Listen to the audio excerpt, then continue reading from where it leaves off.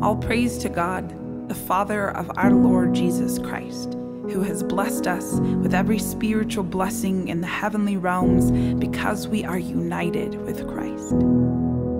He is so rich in kindness and grace that he purchased our freedom with the blood of his Son and forgave our sins. For it is by grace you have been saved not by works, for we are God's handiwork, created in Christ Jesus to do good works which God prepared in advance for us to do.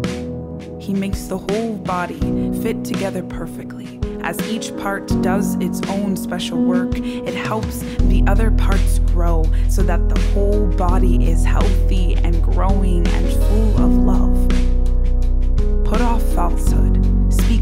to your neighbor. Do not let the sun go down while you are still angry. Share with those in need. Instead, be kind to each other, tenderhearted, forgiving one another just as God through Christ has forgiven you.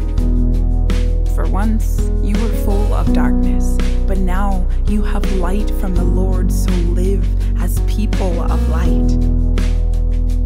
Be filled with the Spirit, speaking to one another psalms, hymns, and songs from the Spirit, always giving thanks to God the Father for everything. Submit to one another out of reverence for Christ. Parents, do not exasperate your children. Put on all of God's armor so that you will be able to stand firm against all strategies of the devil. Pray in the Spirit at all times